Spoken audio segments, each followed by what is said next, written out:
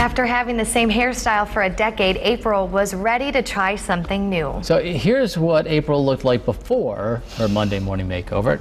Let's see what she looks like now.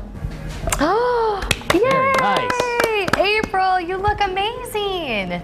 Thank you. I feel amazing. How are you feeling right now with your hair, you know, pretty much cut off?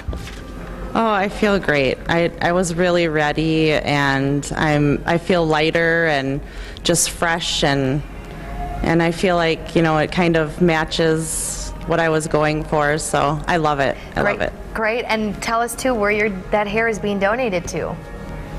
Uh, we're donating it to Locks of Love, so we can get you know a hair piece or a wig made for somebody who has cancer or some other um, hair loss issues, and and I just am so excited about that. Yeah, that's great. Lisa, tell us what you did here.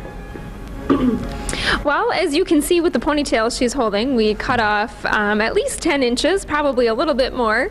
And um, I love what she said, how this just matches what she feels inside right now, and I, I think that's perfect. Uh, we took her hair color and we lightened it up, made it um, a beautiful natural blonde for summer.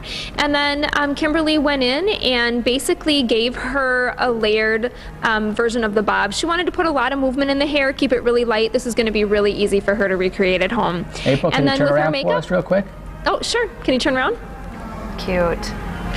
So just really fun, kind of a tousled summer look. She can curl this, she can wear it st- straight if she wants to, so a lot of options.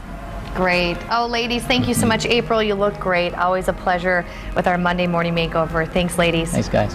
See ya. Thank you.